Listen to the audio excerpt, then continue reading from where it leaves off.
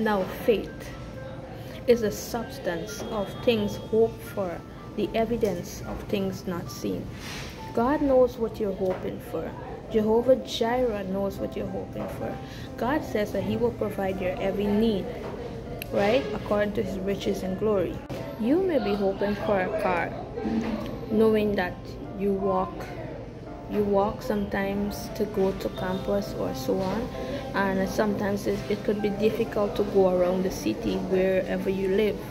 And you're asking god god please bless me with a car. It's like you're hoping for something that you've not seen yet with your physical eyes but you know that your god has done it before in another area and he shall do it again. Nothing is too hard for our god to do not even giving us a car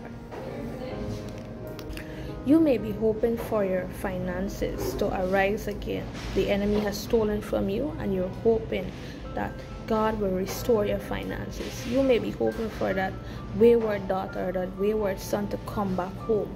You may be hoping for a lot of things this today. And I'm just here to encourage you today. Put your hope in Jesus Christ.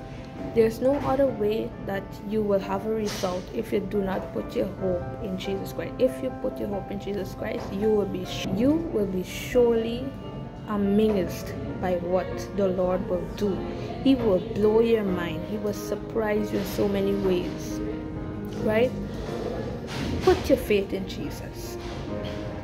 Hope for things. Tell God what you need, and He will supply your need. Right?